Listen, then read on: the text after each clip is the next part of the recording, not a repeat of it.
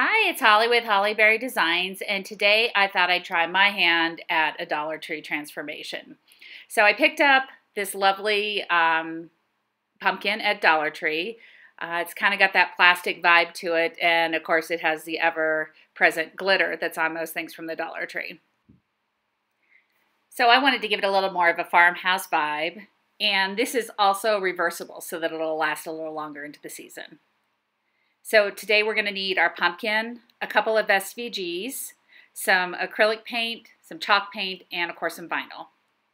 And then a Cricut machine, some brushes, a heat gun if you'd like, a sander, and some transfer tape. And then both the designs that we're going to use today are free if you subscribe to Cricut Access. If not, they're only a couple bucks a piece. So I logged into Design Space and I went into images to find something that I liked. And so I started with just typing in Happy Halloween. I made sure that my filter was set to access images so that anything I found um, would be part of my subscription. And then I started to look through and almost immediately, most of the time I find something I like. And in this case, right on the top row, there's Happy Halloween. But it didn't have enough of what I wanted. And I know from experience that if you keep looking, often you'll find the same image with something added or something missing um, that may be exactly what you had in mind when you started out. And sure enough, here's that same image with a beautiful little flourish underneath it, so I chose that. I imported it in, and um, then my next job was just to size it so that it would fit properly on my pumpkin. For this, I chose nine and a half inches. Um, for some reason it says 9.6, but yeah, close enough. And then I made sure that I that it was locked so that when I hit enter, it would keep the same um, proportions. And then I went back looking for my give thanks. Again, I made sure that um, I was still on access so that I wouldn't be paying for any of my images. And here's another example of I really liked this give thanks, but I wanted a little something more to go with it. So I looked and almost right away I found something else. Now, the Give Thanks has two different colors to it, and I just want to cut it as a stencil. So I'm going to grab that Give Thanks and I'm going to weld it so that it all turns into one color. Just so happened it turned in brown, and I want it to be black so I can cut it on the same stencil sheet as my Happy Halloween. Uh, now that I've changed the color, I'm going to go ahead and also size this to nine and a half inches so that it'll fit perfectly onto my pumpkin. And now I'm ready to cut it. So I'm just going to hit make. Uh, when I get in here, it's almost always going to default to two 12 by 12 mats. So I'm going to change that to 12 by 24. And then I'm going to space them out just a little bit because I want to have a little bit of room around my vinyl so that my paint, I can go a little bit outside of the words and not mess up my pumpkin by going over the edge of the vinyl. Uh, so once I've spaced them out, I'm ready to cut.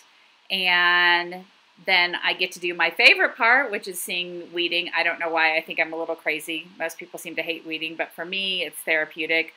I love seeing it kind of come to life and I and see what I'm going to be able to make. Um, I'm not going to lie, the leaves on this are pain in the butt. Uh, so do the top ones first because they're the ones that are really awful, and then the bottom one's nice and easy. And we're all set to go. So now we've got to get our pumpkin ready. Um, I like the little hooks that are on here. It's kind of got like a little shoestring that's split and you can just put it back together and slide it right through, which makes it real nice and easy for switching it around when you want to reverse the sign. So I'm going to take that off and um, obviously we're just going to keep this so we can use it later. And then I'm going to get rid of the little bow. And then next I'm going to pry off um, our little leaf. Now, this was surprisingly well adhered. Um, it took a little bit of an effort. I had to be careful not to really mess up the leaf when I was taking it off because it just did not want to come off. Um, but after sliding a Cricut tool under there a couple times, I was able to get it to pop off and then it bent back into shape pretty easily because it's pretty thin. Um, and then I just needed to get the rest of my glue off of here. Now, I am not a fan of glitter on stuff like this, so um, I need to get the glitter off. The easiest way to get glitter off of a sign is going to be with my handy duty sander. sander. So I'm just going to go to town on this and sand off the glitter. Um, it comes off so easy and so fast if you have a sander. it's not that hard to do. If you don't have a sander, grab a piece of sandpaper. It'll take just a little bit longer, uh, but it's not that hard. It's not a very thick layer of glitter, so not too difficult. I also made sure um, when I was sanding this to go up and sand off the stem because that's painted on top of the orange of the pumpkin, so you could see um, the different layers if you were to paint over it. And I just didn't want to have that. And then um, I went along the sides because it seemed a little bit raised. And I just, again, wanted it to be smooth for my project. So I went along the edges. Um, careful to lift it up as I did so that I didn't sand onto my table. Um, because I don't want to ruin the table on my workbox. Um, these things always take forever to stop spinning when you're done.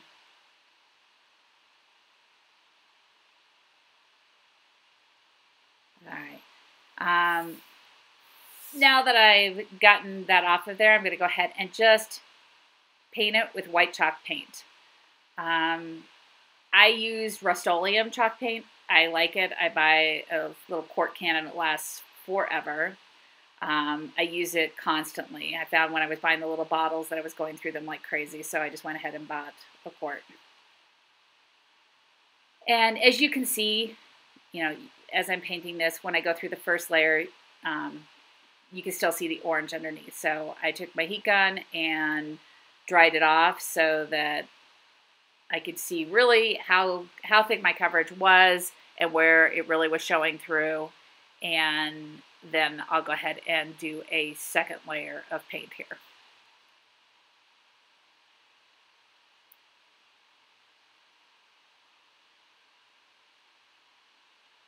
And really, all it took was two layers, and you couldn't see any of the orange. It was completely covered up. Um, I really didn't need to dry it at this point because I'm going to let it dry overnight. The only reason that I'm using my heat gun to dry this second coat is so that I can turn it over and paint on the back because like I said earlier, this is going to be a reversible sign.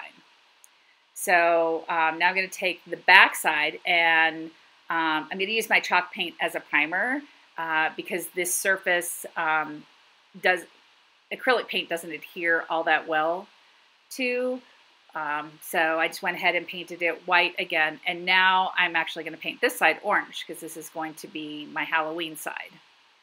And I'm just using um, craft store, you know, 50 cents a bottle acrylic paint here.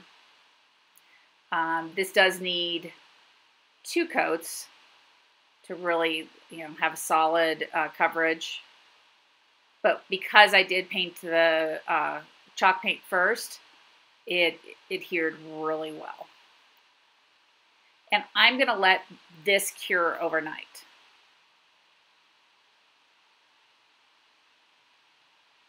So it's been a day, and now I just want to kind of distress this a little bit and give it that farmhouse look. So I'm dry brushing around the edges.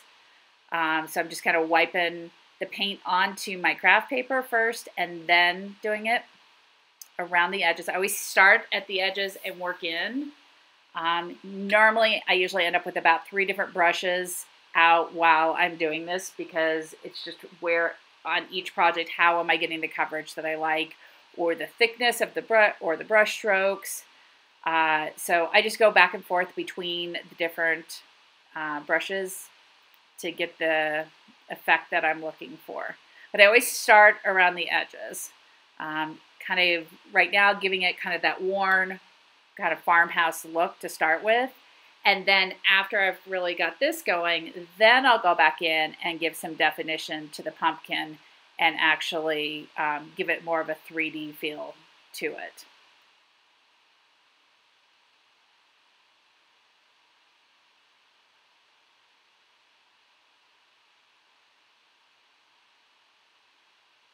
And I try really hard to make sure that I'm always wiping um, the paint brush off on the craft paper prior to going in there.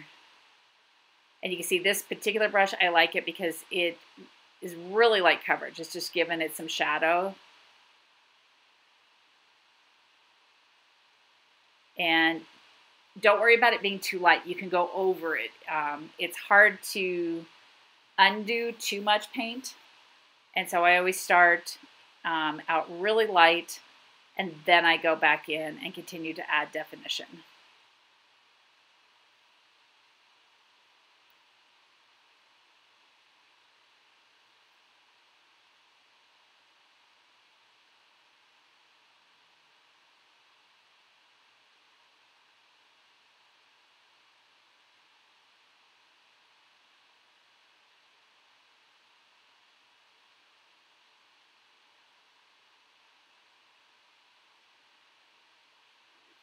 So I went ahead and just um, put my stencil on here. And when I do the Halloween, I'll show you that one as I'm putting it on. I always start with the color that is underneath the stencil. So in this case, I'm using my white chalk paint again. Uh, the reason for that is simply so that if there's any bleeding, now we're going to be in a situation where um, what bleeds through is white. And I'll go through and put this through. And then the big thing is, is to give it a little bit of time to dry off when it's done before we start to put the black on. Otherwise, we end up with um, more of a gray, and I really want that black farmhouse look. Again, um, getting any excess paint off of my brush, because even though I put the white on, I still want to avoid any bleeding that I can. Um, and you'll notice I'm going up and down with the paintbrush. When I speed it up so you don't have to be bored while I'm doing all of this, it may look like I'm going back and forth a little bit, but I'm not. It's just the speed of the video. Um, so I'm always going up and down versus back and forth on the can um, the pumpkin so that there's less likelihood of it bleeding through.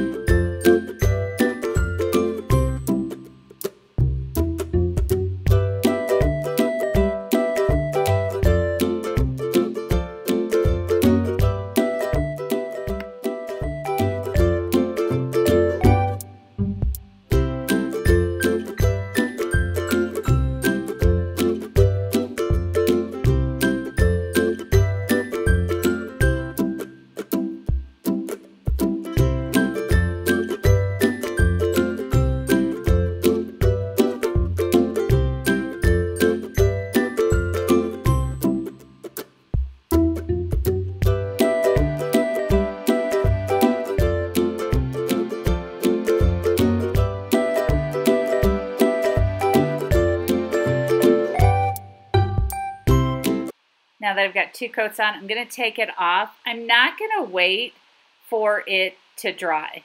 Um, I usually pull mine off when it's still pretty wet.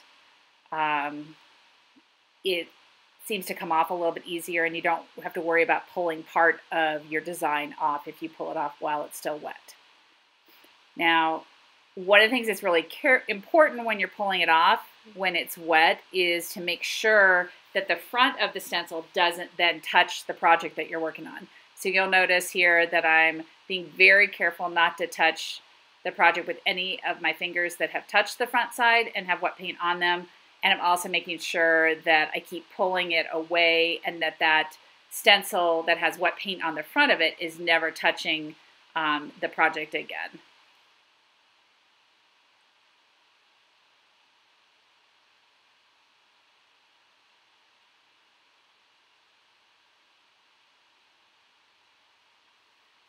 And now comes the fun part, pulling all the little tiny pieces out of there. Um, the little tiny pieces in that leaf on top are a pain in the butt to pull out, but it's so worth it once you pull out everything. And then there was a couple of little tiny issues um, where I wasn't as careful as I thought when I was pulling it off, and I got a tiny bit of the paint from the stencil on there. So I just grabbed a white brush or brush and some white paint and touched it up. But overall, I think it turned out really nice. So now it's time for the back side. I didn't like how shiny it was with the acrylic paint. We had the chalk paint on the front, and I just regular, did regular acrylic orange paint on the back. And so I just took a sanding block and sanded it down a little bit to take just a little bit of the gloss off of it. You just want to be careful that you don't sand too far and sand off your color. Um, so like I said before, I'm going to show you um, how I put the stencil on. Um, before I do so, I'm going to paint the stem. And on the front side, I was really careful about how the stem looked and kind of tried to make it fancy and everything. And then I realized when I was all done with it that I'm going to put um, a bow on that and it's going to cover it up. And so I want it to be fairly neat, but I didn't get as worked up about it on the back side because I had realized that there was no point. So now I'm going to do the same thing again. I'm going to go through and I'm just going to dry brush my pumpkin. I was a little more generous with my paint on this side, did a little more layers, didn't get my brush quite as dry because I was painting on top of a color. Um, but you still want to be careful with how much paint. Again, you can always go back and add more in. It's a pain in the butt to try and get paint off if you get too much in there. Um, but I really, really like how the pumpkin on this side turned out. Um, put a lot um, a lot more brown on this side and kind of made a little more definition than I did on the front side. And think it turned out really good.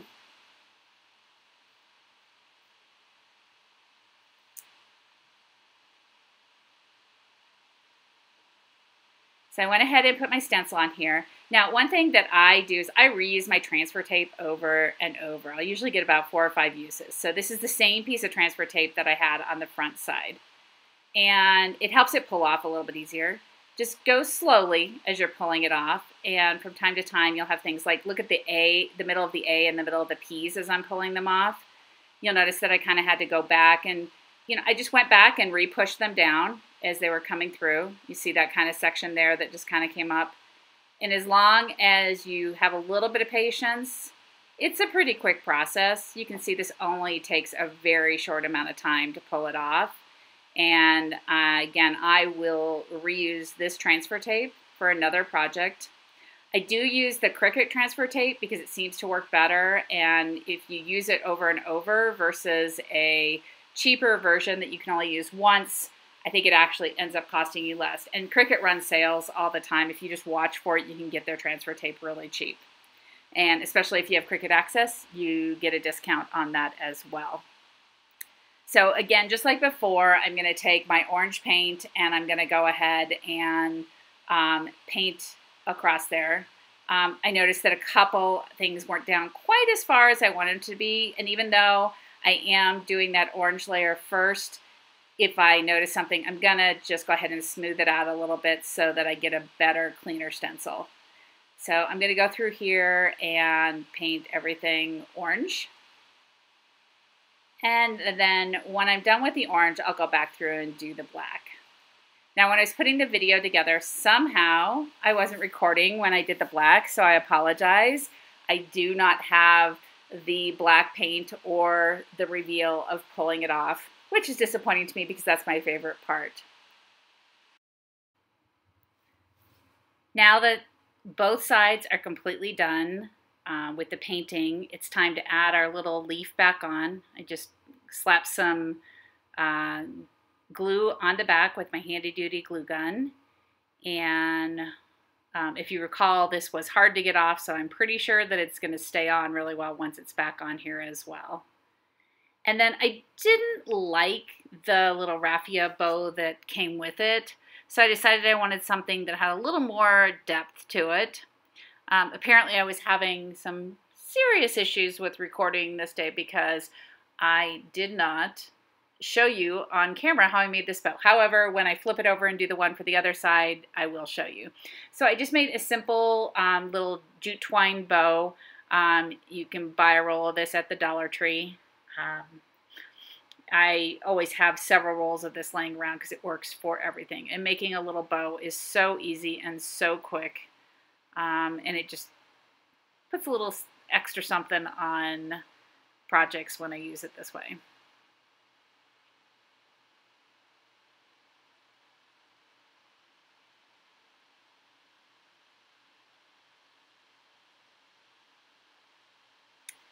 So now that I like what that looks like, let's flip it over and we'll do the other side.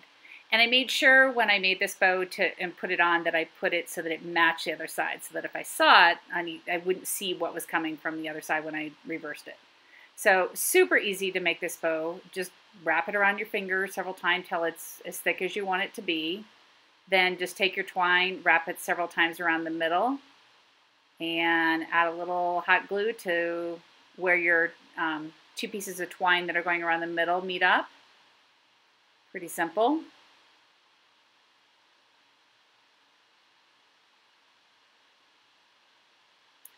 And then just press that baby down where you want it to be. And like I said, I wanted to make sure that this matched up to the bow on the other side so that anything that I saw or that would show from the back would be covered up by the bow on each side.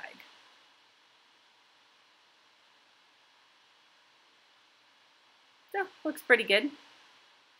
Next thing I did was take that um, little piece of twine that I had saved from the very beginning and pop it back in. I love this because it has kind of the little shoestring ends on it, so you can pop it in and out, and when you switch it around, um, it won't look like it's on the back side. You can just switch it back around. Um, so, holds it up nice. And like I said, you just take those and switch them around to the other side, and it'll look great.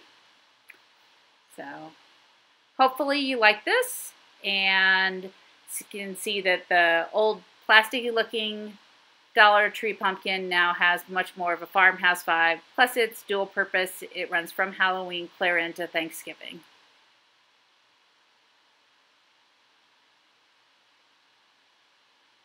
As always, if you like this, don't forget to subscribe. Have a great day.